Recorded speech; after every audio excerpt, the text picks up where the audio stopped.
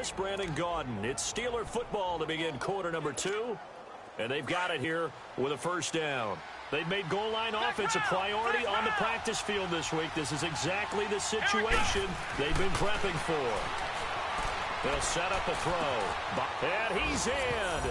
Touchdown, Steelers. In for the score. And the Steelers are able to strike for six. Boy, it's nice to have that big, reliable target you can go to. Each and every time. A lot of people see that position as a fallback. Throw it to them when all else fails. Not at all. This guy can make plays, and that's exactly what he just did. Yeah, play here for a touchdown.